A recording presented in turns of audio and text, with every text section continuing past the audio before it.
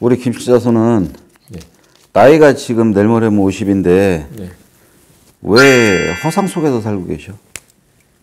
아 그냥 그거는 얘기 안 해주셔도 되고요. 예. 일단 제가 제 본인의 본인의 네. 앞날은 궁금하지 않고 그냥 둘 둘의 관계만 해주면 돼? 앞날 때문에 여쭤보러 온 거고요. 그거는 안 해주셔도 돼요.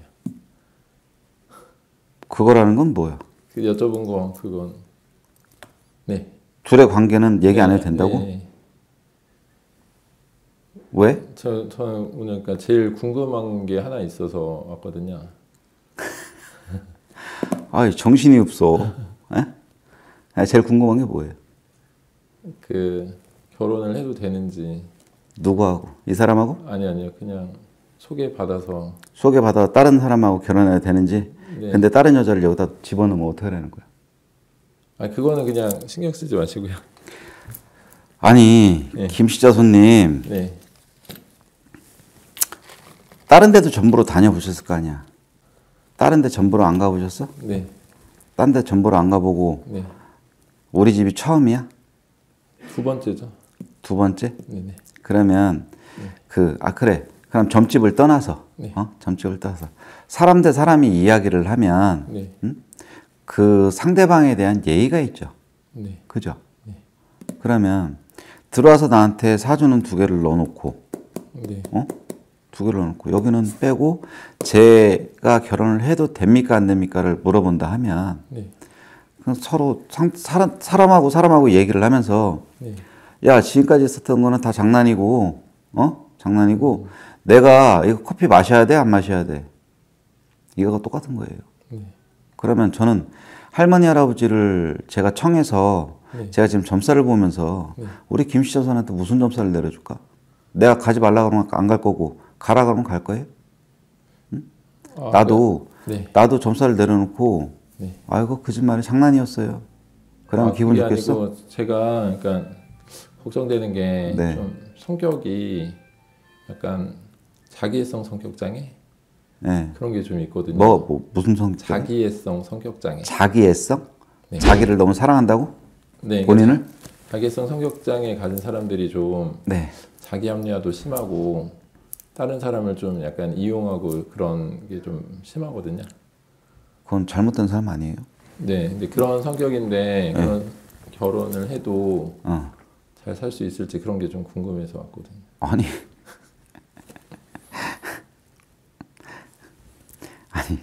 김씨자 손님. 네, 나한테 시비 걸러 왔어? 아니 그냥. 아니 처음부터 왜 그래?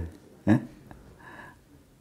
김씨자 손님. 네, 점이라는 거는요. 네, 할머니 할아버지가 공수를 내렸을 때 본인이 이렇다 저렇다 어떻다 이런 게 나와서 본인은 이러이러하니 네, 음?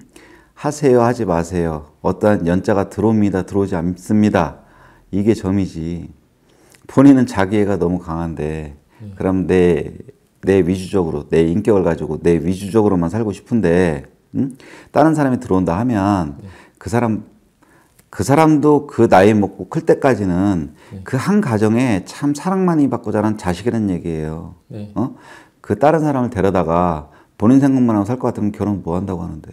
아 그게 아니라 제가 그런 성격인 걸 아, 알. 그러니까 본인이 그런 성격인 거 알면서 네. 결혼 뭐 한다고 하냐고. 그럼 그 사람한테 불행만 줄 거 아니냐고. 극복하고 살수 있는지 여쭤. 극복 아니 본인이 지금 본인 입으로 얘기해놓고 뭔 극복을 해? 안 그래요? 예? 나는 내 자기애가 강해서 네. 음? 내가 그거를 뛰어넘고 잘 살 수 있겠습니까? 없겠습니까? 어? 그게 질문이라고 하시는 거야? 예? 네, 알겠습니다. 내가 그러면 내 자기애는 무지하게 강한데 네, 제가 변해서 진짜 많이 노력해서 변해가고 있는 중입니다. 어? 네.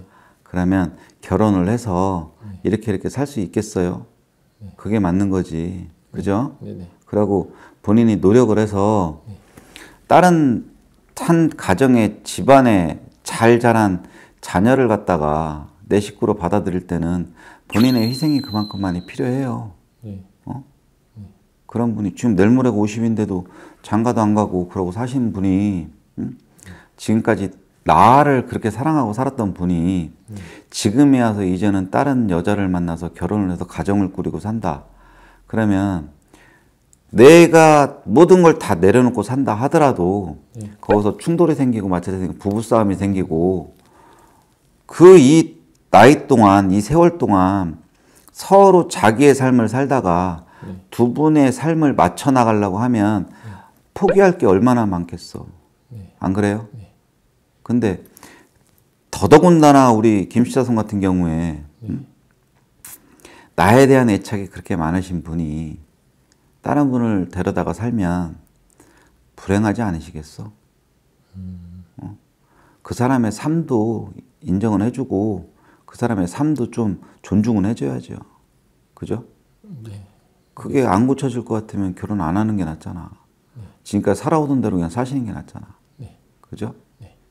네. 그러고 자꾸 왔다 갔다 하지 마세요. 하나만 하시 하나만. 응? 우리 김씨자손이 뭔가 큰 뭔가를 갖다가 내가 이만큼 위에 올라간다 생각하지 마세요. 어? 그만한 밥그릇 안 되시니까 아시겠어? 어? 하나만 들고 가도 하나만 들고 파도 힘들어요. 어? 그런 분이 이것저것 이것저것 여기 갔다 저기 갔다 왔다 갔다 정신없이 그래봐야 본인한테 도움되는 거 아무것도 없어. 아시겠어? 네. 예?